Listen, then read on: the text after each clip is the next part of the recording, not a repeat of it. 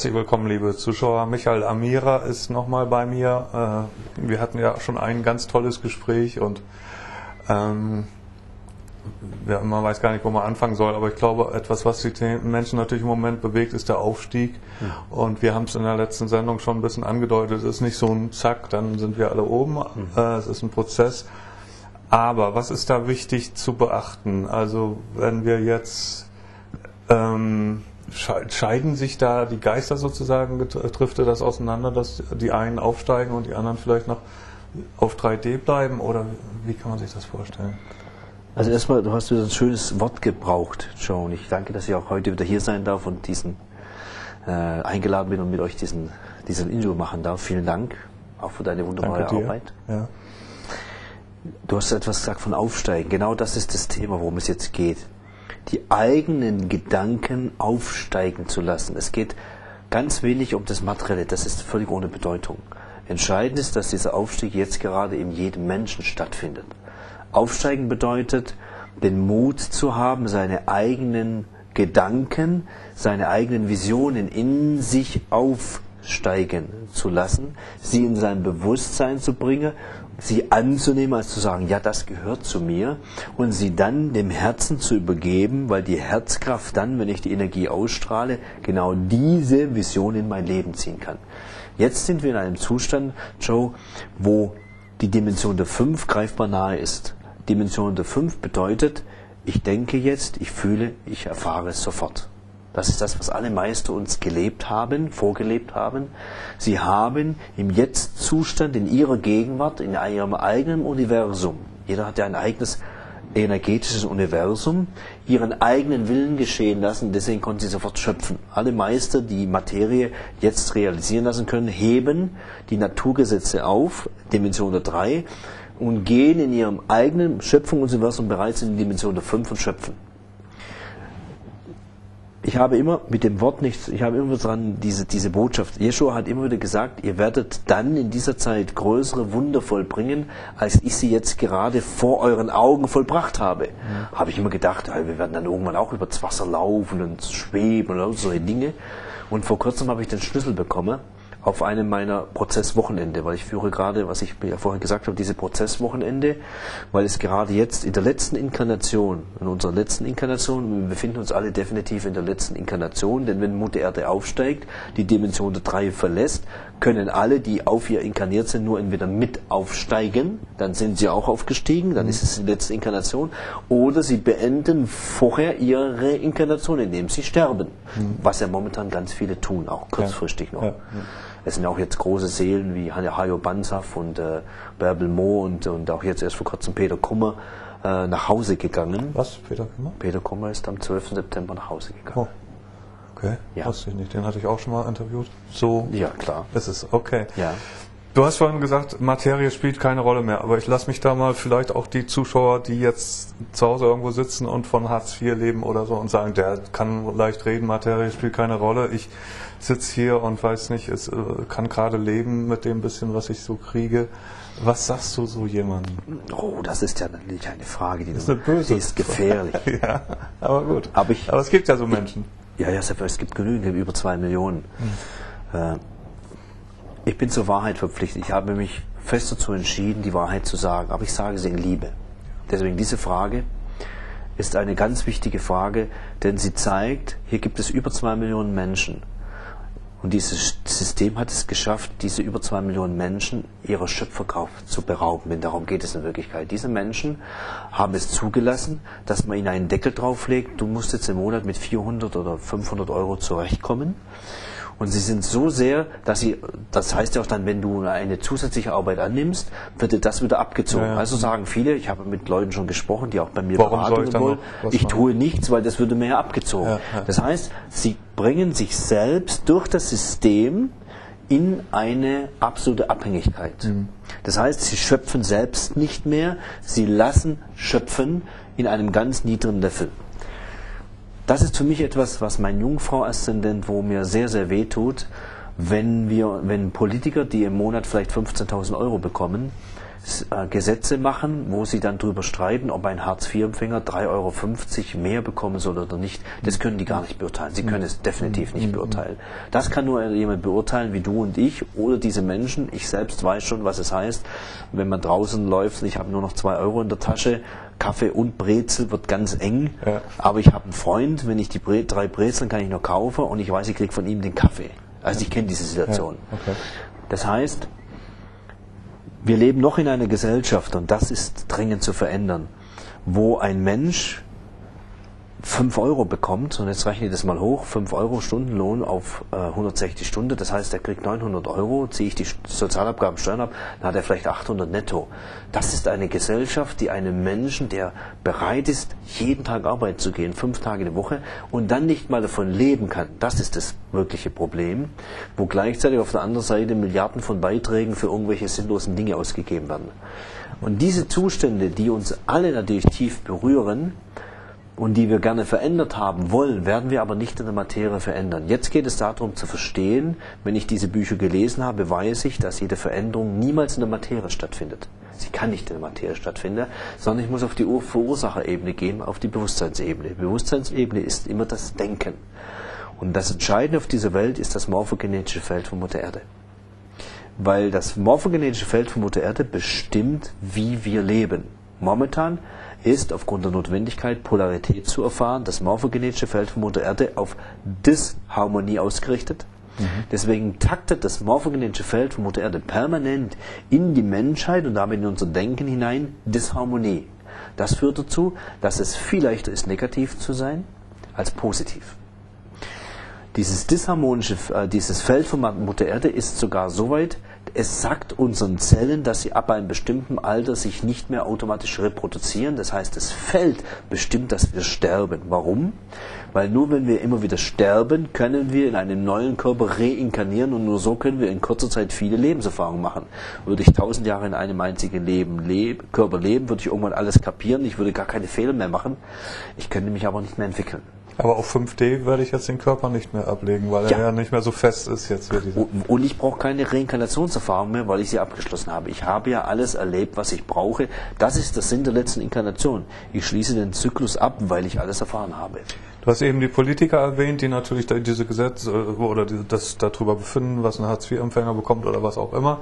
Ähm, ist natürlich noch diese alte Welt wie äh, ja, haben, spielen die Politiker eine Rolle äh, bei dem Wandel dieser Welt in, in diese bessere Welt oder in die 5D-Welt? Ja, sie, sie spielen, die, die Wichtigsten sind wichtiger als die Mächtigen, weil die Mächtigen selbst nicht wirken können. Die Mächtigen haben ja etwas Fantastisches geschaffen.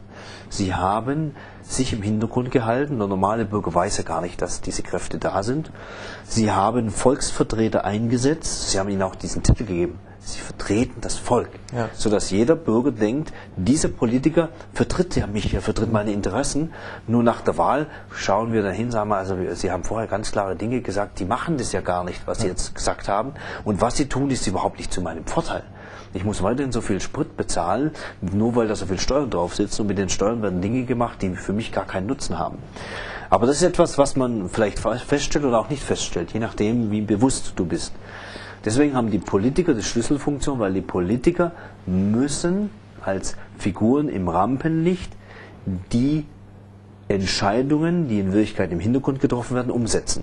Damit sind die die Schlüsselfunktionen. Deswegen habe ich ja auch im Mai diese Botschaft von der geistigen Welt bekommen, dass wir diesen Politikern positive, liebevolle Gedanken zukommen lassen sollen, denn die Macht unserer Gedanken kann andere Menschen in ihrem Verhalten beeinflussen.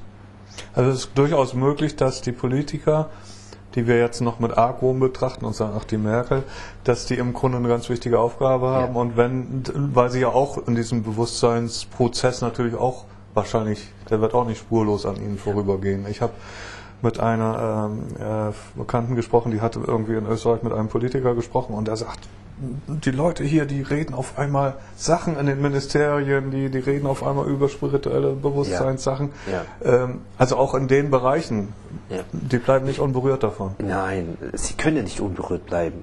Aber sie haben immer eine, sie haben ja sich entschieden, in ein System hineinzugeben, wo sie permanent gefordert werden, mhm. äh, äh, wo sie permanent Interessen berücksichtigen müssen, die vielleicht der eigenen Meinung total widersprechen, aber wenn du in dieser Rolle bist, musst du das mitmachen. Äh, gerade die Politiker haben so ziemlich die schwerste Aufgabe überhaupt. Aber ich möchte, äh, ich habe nachts mal eine Sendung gesehen mit Heiner Geisler von der CDU, dieses Urgestein der mhm. CDU, und er hat in dieser äh, Runde gesagt, es müsste doch mit, also in etwa, es müsste doch mittlerweile klar sein, dass das Problem das Geld ist. Aber es ist nicht das Geld, es ist die Verteilung des Geldes. Es ist natürlich daran, dass ein, ein Großteil des Geldes bei ganz wenigen ist. Wir da hat er allerdings dann gelogen. Wir wissen natürlich nicht, wo das Geld ist, hat er gesagt. Mhm. Aber wir wissen, dass das, die Verteilung des Geldes, das Problem ist. Heiner Geißler in der heutigen Zeit von der CDU hat das gesagt, öffentlich in einer Diskussion. Ja. Ich habe gedacht, ich traue meinen Augen nicht, aber das ist der Wandel. Ich würde, möchte dir eine Frage stellen, um die Frage äh, zu beantworten. Wenn ich dich fragen würde, Schachspiel, welche Figur möchtest du im Schachspiel sein? Was würdest du sein wollen?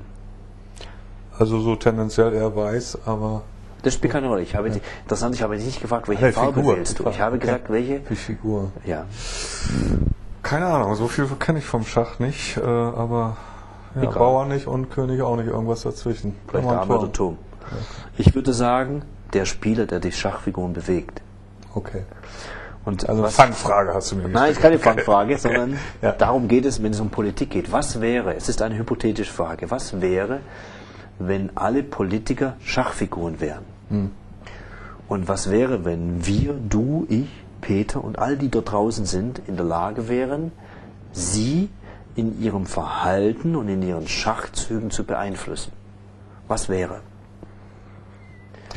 Ja, gut, vielleicht ist es ja so sowieso so und wir haben im Grunde die Politiker, die wir verdienen. Das heißt, wir haben ja ein Massenbewusstsein, das möglicherweise. Oder die wir brauchen. Mhm. Könnte ja auch sein, dass es genau die ja. brauchen, die uns dann in einen Bewusstseinszustand bringen, denn je schlechter sie scheinbar sind, umso mehr regen wir uns drüber auf. Und Aufregung ist eine Gelegenheit, wenn wir wütend werden, dass wir das verändern. Und wir erkennen es halt. Es, die Politik es. ist ja im Moment so, dass wir wirklich sehen können, also da jeder merkt es langsam. Ne? Das, also wir allmählich, also da läuft etwas richtig schief. Äh, in Amerika haben sie einen Versuch gemacht mit sehr kranken Menschen. Sie haben diese kranken Menschen in zwei Gruppen geteilt. Und sie haben dann beide Gruppen getrennt und sie haben für die eine Gruppe wurde gebetet, für die andere nicht. Haben aber die nicht gewusst. Heilungserfolg bei denen, für die gebetet wurde, über 60 Prozent höher. Mhm. Das bedeutet, was wäre, wenn jetzt plötzlich Millionen von bewussten, liebevollen Menschen permanent unseren äh, Politikern nicht sagen würden, man seid ihr bescheuert? Und ihnen damit diese Energie, bescheuerte Energie, und dann werden sie noch bescheuerter vielleicht. Mhm. Oder ich schenke ihnen Liebesenergie, Entscheidungsenergie, dass die sich neu ausrichten, dass die selbst erkennen und neue Entscheidungen treffen. Und das machen Millionen von uns. Und weil es Millionen von uns machen, immer das Stärkere beeinflusst das weniger Starke. Wir damit sie plötzlich und plötzlich bei so einer Runde sitzen die drinnen, müssen entscheiden und einer von den Politikern sagt, nein, ich habe überhaupt kein gutes Gefühl dabei in der Jetzt-Situation. Ich muss es zwar machen, also ich, ich habe aus der Loge gekriegt. Machen, ich müsste ja? es, ja. aber ich möchte es nicht. Und der zweite Politiker sagt, ja, ich möchte es auch, auch nicht. Ja. Und dann sagt, ich auch nicht, denn meine Frau hat gestern gesagt, wenn du weiterhin so komische Sachen machst, weil die haben doch auch alle eine Familie, die haben auch Kinder, die haben auch Menschen um sich herum. Das sind auch Menschen mit Gefühle. Also da kann durchaus der Wandel auch da. Ähm der kommt garantiert dort. Wir werden eine neue Welt erleben, weil sobald die kritische Masse von das, ich bin fest davon überzeugt, Joe, wir werden bis zum Jahresende die Voraussetzungen schaffen, das morphogenetische Feld neu ausrichten auf Harmonie. In dem Moment, wenn das passiert, wird Mutter Erde jedem Bewusstsein auf dieser Welt ein neues Update, nämlich ein Update von Bewusstsein, von Liebe geben. Mhm. Und wir werden vielleicht diese drei Tage und drei Nächte, von denen wir immer hören, werden vielleicht passieren, drei Tage Dunkelheit, ja. dass in dem Moment ein Teil der Menschheit einschläft, wie ausgeschaltet wird. Die Bewussten bleiben wach, sie programmieren endgültig das Feld neu, dann wachen alle auf und weil sie aufwachen, haben sie über Nacht quasi ein neues Update bekommen. Sie wachen morgens auf und sind bewusst und sie sind spirituell. Und ein spiritueller Mensch wird andere Entscheidungen fällen. Wunderbar, aber das äh, bedeutet ja im Grunde, dass wir auch sehr viel Einfluss haben im Grunde mit unseren Gedanken. Also wenn ich, du hast es gesagt, wenn ich jetzt denke, die Politik, die Merkel ist doof und ach, wenn ich die schon sehe, bestärke ich das ja mit und erschaffe, erschaffe ich sie im Grunde mit so, wie sie ist? Oder ja. ich lasse ich sie, sie, in ihrem Prozess. Das ist etwas, was, was in der Partnerschaft zum Beispiel ganz, ganz wichtig ist. Wenn ein spiritueller Partner, oft sind ja so, dass in der Partnerschaft noch ein, einer spirituell ist, egal Mann oder Frau und der andere nicht. Und jetzt versucht Der andere zwar wünscht sich, dass der andere auch anders wäre, aber wenn du dich mit ihm unterhältst, wird er immer sagen, ja, der andere tut es nicht, der andere will es nicht. Das heißt, mit jeder Aussage, die ich über den anderen treffe, verstärke ich das vorhandene Verhalten dieses Menschen, weil ich gebe ihm ja die Energie. Er kann sich nicht verändern, weil ich auch nicht glaube, dass er sich verändern kann. Genau. Und das ist mit, mit unseren Politikern eben auch das Ding. Wir sollten denen also das zutrauen, dass sie sich verändern können. Ja. Und, es äh, sogar in unserer inneren Vision schon sehen, wie da plötzlich da vorne hinstehen und sagen, wir können das so und so nicht mehr machen, wir haben uns für das und das entschieden. Ja, und freie Energie war ja auch mal toll, dass sie auf einmal sagen, wir entscheiden jetzt, also jetzt, jetzt gibt es nur noch Autos, die mit Wasser fahren. Ja, das muss haben wir jetzt werden. allgemein durch. Es wird ab morgen werden die ersten Fahrzeuge von Band laufen. Wir werden sie zu einem Selbstkostenpreis von 1000 Euro pro Fahrzeug anbieten und es muss nie wieder getankt werden. Das wäre eine Vision, die wir jetzt brauchen. Und wir haben im Grunde auch mit Einfluss darauf. Das heißt, nur wir. Es gibt Joe, es gibt keine andere Gruppe auf dieser Welt, die das interessiert. Acht Milliarden unbewusste Menschen wissen gar nicht, dass sie Schöpfungsfähigkeiten haben. Naja, und die äh, Zuschauer, die jetzt bei, am Computer sitzen und bewusst TV die gucken, die haben das. Sonst würden sie es nicht anschauen. oftmals ja auch nicht bewusst. Doch, also, sie sind, ja, also Menschen, Oder wir machen es ihnen nochmal bewusst. Ja, genau. Wir erinnern sie noch einmal dran an das, was sie schon wissen und sie sitzen da und sagen, das habe ich schon gewusst, ja. ich wollte es schon tun, jetzt habe ich mich daran erinnert, jetzt tue ich es auch. Also das ist im Grunde die Arbeit, die wir machen. Wir erinnern eigentlich nur ja. die Menschen an das, was sie eigentlich Was wissen. in ihnen schon drin ist, was sie schon gefühlt haben, was sie vielleicht schon dreimal vorgenommen haben und spätestens heute Abend, wenn sie das sehen, aufstehen und sagen, okay, eins ist klar, jetzt liegt es an mir, was ich tue. Ich habe ein gutes Gefühl bei meinem Partner, ich gehe jetzt auf ihn zu, nehme ihn an und sage, ich liebe dich. Weil das habe ich mich immer von dem Partner gewünscht.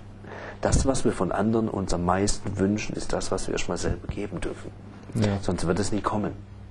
Ja, und uns selber lieben ist ja auch so ein Programm, äh, etwas, was wir, wo wir uns vielfach mit schwer tun, oder? Weil, Weil es uns anders ja erklärt wurde. Ja. Diese christliche Lehre, Jeschuas Lehre wurde ja umgedreht. Mhm. Es wurde gesagt, liebe deinen Nächsten. Jeschua hat gesagt, nein, ich habe das nie gesagt. Was ich wahrlich gesagt habe, ist, liebe zuerst dein Selbst. Dann wird es dir leicht fallen, alle anderen Selbste zu lieben. Also ist die Selbstliebe das Wichtigste überhaupt und damit eigentlich der positive Egoismus. Mich in dem Zentrum meines Lebens zu stellen, ist das Wichtigste. Aber mit selbst ist jetzt nicht das Ego gemeint, der sagt ich, ich, ich, ich, ich, sondern das, das höhere, höhere das, das, was ich selbst. eigentlich bin. Ja, die das, Seele, die Liebe. Genau. Ja. Das bewusst machen, also das auch unterscheiden. Ja. Ähm, also, wir sind in dem Prozess des Aufstiegs. Wir können eben äh, aktiv Anteil nehmen oder es beschleunigen, im Grunde, indem ja. wir unsere Gedanken in die Richtung ja. ähm, lenken, die wir haben möchten und uns unsere Gefühle. Und vor allem unsere Gefühle nutzen, weil sie sind der Treibstoff. Ein Gedanke alleine hat keine Verwirklichungskraft. Ein Gedanke ist nur die Hülle, mhm. der Rahmen, das Glas. Damit sich das Glas füllt und wir das schon haben, brauchen wir Energie und Energie liefern nur Gefühle. Also das Entscheidende ist nicht unsere Gedanken, es ist nicht wichtig, was du denkst.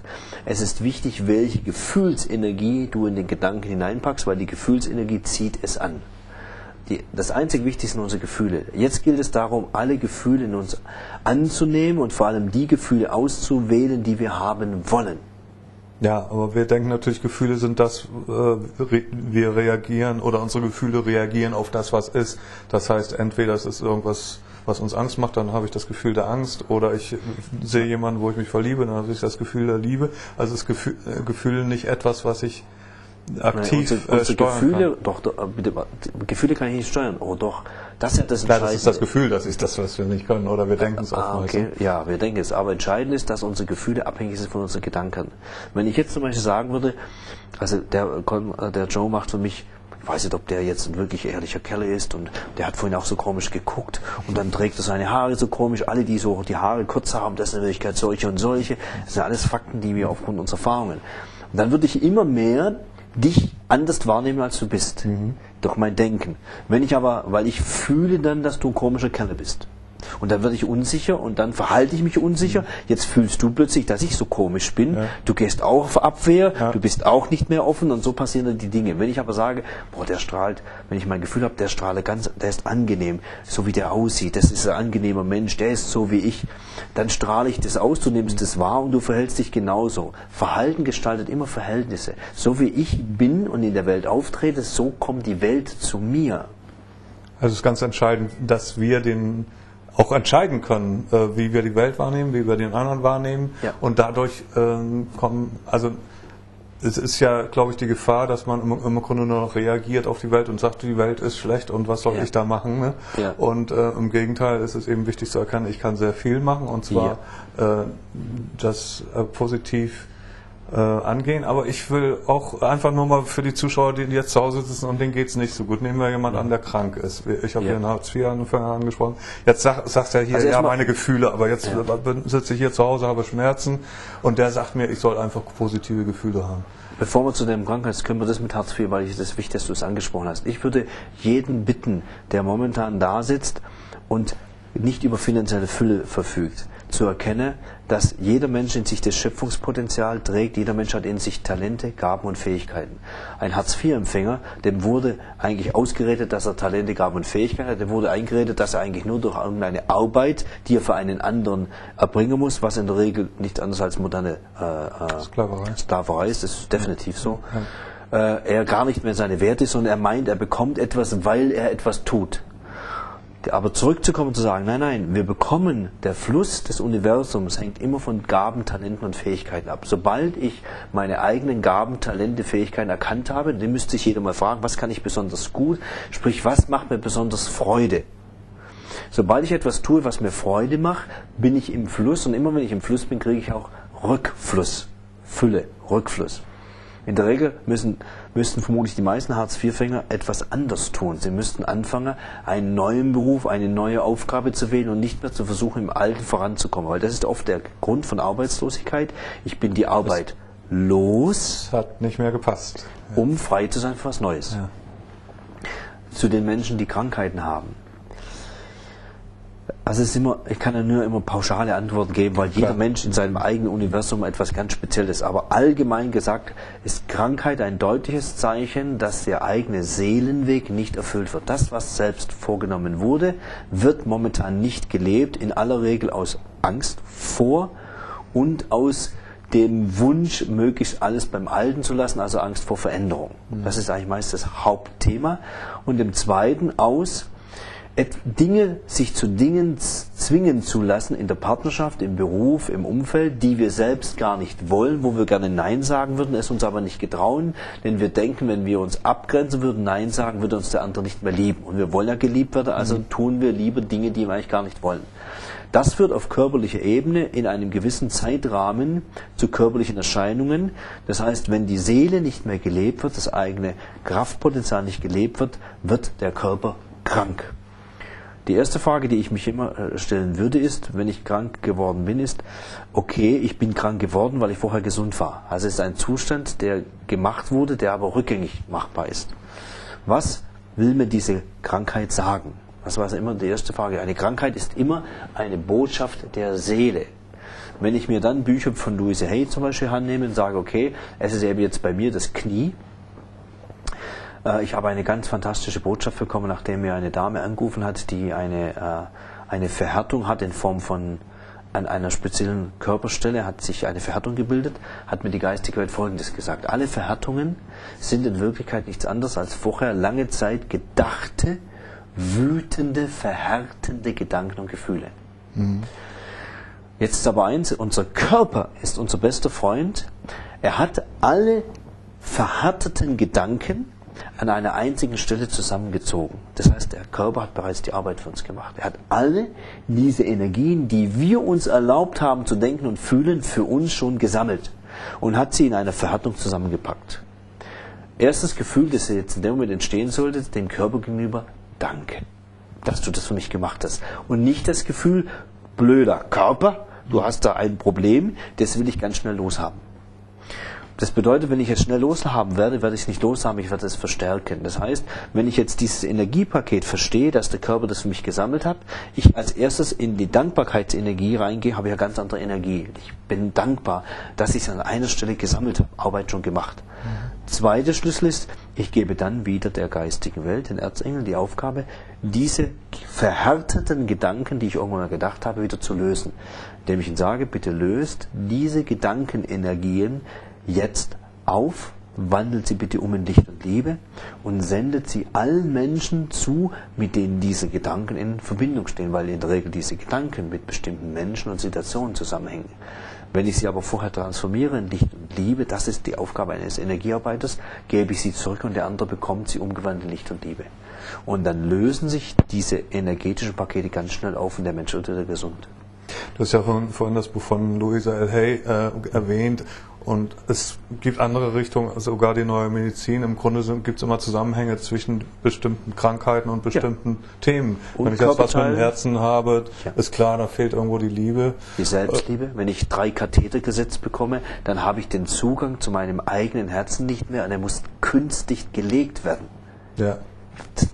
Die Sprache ist so, wenn ich Nierenprobleme habe, dann geht mir etwas an die Nieren. Meistens ist es der Partner, wo ich eben nicht meine Interessen vertrete, sondern duckmäuserisch werde, so lange, bis es mir an den Nieren geht. Wenn ich nicht mehr, nicht mehr schlucken kann, ich kann es nicht mehr schlucken, was ich jahrelang gemacht habe. Also die, die Deutsche, deswegen liebe ich so sehr die deutsche Sprache, weil sie vermutlich wie keine andere Sprache zweideutig ist. Sie sagt auch immer gleich das Symptom, mhm. den Grund. Genau, also da gibt es viele Wege natürlich. Du hast in deinen Büchern das natürlich auch, äh, ist ein Thema. Ja. Aber wie gesagt, es geht in die Lösung und zu erkennen, ja. man braucht jetzt gar nicht mehr in die einzelnen äh, Organe so genau und in die Medizin reingehen, sondern einfach erkennen, da hat sich was im Körper jetzt manifestiert, was eigentlich gedanklich erstmal schon da ist und wenn ich das ja. erkenne, kann ich es ja auch schon. Also ich würde immer auf körperlicher Ebene empfehlen, wenn es notwendig ist, einen Arzt zu brauchen, immer zu einem Arzt zu gehen. Das sagt schon der Name. Ein Arzt ist jemand, der etwas verarztet. Wenn eine Wunde blutet, kann ich einfach sagen, jetzt denke ich nur positiv, überlegen mal, warum bin ich jetzt verletzt, warum fließt das Blut da? Aha, Lebensfreude ist gerade dabei, mich zu verlassen. Ich habe gerade dementsprechend Gedanken und ich lasse es halt laufen. Das wäre ganz sicher der falsche Weg. Ich muss immer, die Erstbehandlung ist das Wichtigste. Ich muss das körperliche Symptom so sofort wahrnehmen und wenn notwendig verarzten und dazu brauche ich einen Arzt. Aber der zweite Schritt wäre, wenn das dann, wenn die Wunde verschlossen ist mit einem, weil sie genäht ist oder ein Pflaster auf ist, wäre die nächste Frage, warum ist das geschehen? Warum habe ich mich selbst verletzt? Warum habe ich mir ins Fleisch geschnitten als Beispiel. Und dann mein Leben anzuschauen, ja, in der Partnerschaft momentan. Ich sage permanent ja, obwohl ich schon lange Nein sagen möchte. Ich tue permanent das, was der Partner, wo ich meint, er möchte, aber ich möchte es selbst gar nicht. Im Beruf, ich tue permanent äh, bei meinem Chef etwas sagen, was ich eigentlich gar nicht möchte. Ich möchte eigentlich da gar nicht mehr sein. Ich habe das jetzt seit 20 Jahren gemacht. Das steht mir eigentlich hier. Ich habe gar keinen Bock mehr, das zu machen. Es langweilt mich. Am liebsten würde ich eigentlich in die Natur gehen. Ich würde mit Pferden was machen. Ich würde gern heilen. Ich würde das. Ich würde würde gerne, ich würde gerne. Das zu machen, das ist die Aufgabe. In der Regel kommt dann auch ganz schnell Heilung. Du hast ja eben gesagt, das in, in die Natur und was mit Pferden. Also das ist ja auch ein wichtiger Aspekt. Wir sind natürlich in einer Welt, die sehr unnatürlich ist. Wir haben sehr vieles. Natürlich, ja. ja äh, haben uns sehr getrennt von der Natur. Ja. Und merken jetzt, was es mit uns macht, dass das ja. Essen nicht mehr gesund ist, dass ja. wir in Betonklötzen nicht glücklich leben können und ja. so weiter. Das heißt auch immer wieder ein Aspekt rauszugehen in der Natur für dich? Ja, unbedingt. Die, äh, sich permanent mit Mutter Erde, sich immer bewusst zu werden, der Boden ist Mutter Erde, der Stuhl ist Mutter Erde, wir sind permanent von Mutter Erde umgeben. Das heißt, wir können uns gar nicht irgendwo einschließen, denn alles, was uns einschließt, ist Mutter Erde. Alle Materialien dieser Welt sind Mutter Erde in verschiedenen Baustoffen. Das heißt, sich immer wieder bewusst zu machen, dass dieser Planet uns permanent trägt das allein schon über die Beine, immer wieder sich mit Mutter Erde zu verbinden. Interessanterweise ist ein geerdeter Mensch ein Mensch, der in Fülle ist.